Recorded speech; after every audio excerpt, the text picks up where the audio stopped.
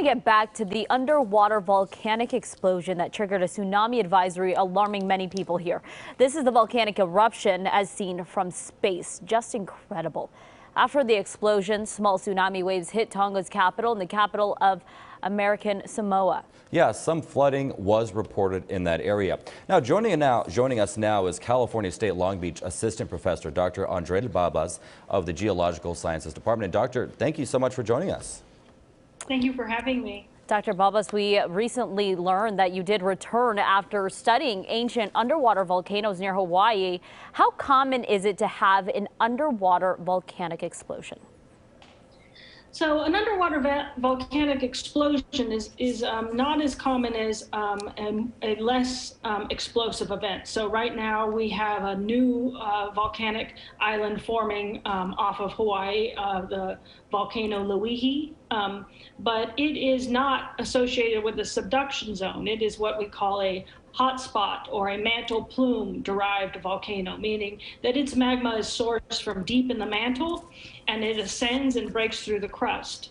What we had today was a volcanic eruption that was the result of oceanic crust subducting under other oceanic crust. And when that happens, it brings with it water, and water is volatile.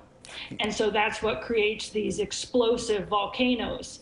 So um, there are some other hypotheses that um, state that you could have fractures in the area. And so since it's underwater, you can get a, a rapid injection of water causing for great volatility and that might have happened today where we had an explosion so large that um, it was um, spewing debris into the atmosphere at a rate uh, faster than the speed of sound. And that's what created that large blast that could be um, heard hundreds of kilometers away. Wow those images just fascinating to watch. You know, when it comes to earthquakes, you can't really predict an earthquake or when it's going to happen. As for a volcanic eruption, is there any warning or are there, you know, people that are working on potential warning triggers for people in the future? Yeah, there are always um, scientists, geologists looking for this type of um, information. So the Cascadia Volcanic Observatory actually is hooked up to satellites that are, go around the world. And so for subaerial volcanoes, volcanoes that are mountaintops or what we know as um, Mount St. Helens, when you see a bulge on the side of that volcano, it's indicating that there is a um, imminent eruption. Also, we look for tectonic events. So we can't see below the water surface. We can't find um, those bulges the same way that um, the Cascadia Volcanic Observatory can, but we can kind of listen for um, tectonic events that might indicate there's um, ascending magma. But at this time, um, the ability to actually monitor by a visual monitor um, in the ocean is very difficult because it's very vast.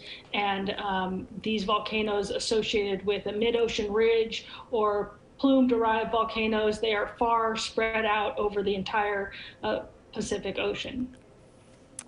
Um, and we do have to ask now, how many of these underwater volcanoes are out there that we know of? And are there any that we need to be concerned about, especially here in Southern California? So luckily for us, we don't have um, a lot of subduction um, oceanic crust under oceanic crust volcanoes near us. What we have are the Hawaiian um, seamount chain that is, again, it is a hotspot derived um, seamount chain of underwater volcanoes. The one subduction zone that we do have in the United States is the Cascadia subduction zone, where the Juan de Fuca plate subsides, um, subducts under the Pacific plate. And that creates um, large earthquakes, that um, Cascadia events where you see the entire crust move all at once over uh, 600 kilometers and that's what creates large tsunamis in the Pacific Northwest. And we also have the volcanoes such as the Mount St. Helens that is associated with the Cascadia volcanoes. But um, oceanic crust under oceanic crust is not proximal to us, um, luckily. So we do have our wonderful Cascadia uh, Volcanic Observatory who's keeping a good eye on our um, subduction volcanoes up there in the Pacific Northwest. All right. Well, I feel like you just took us all back to college, back to school. Great information for sure, for sure. And thank you so much for joining us, Dr. Balbas. Great information. Thank you for having me. Yeah.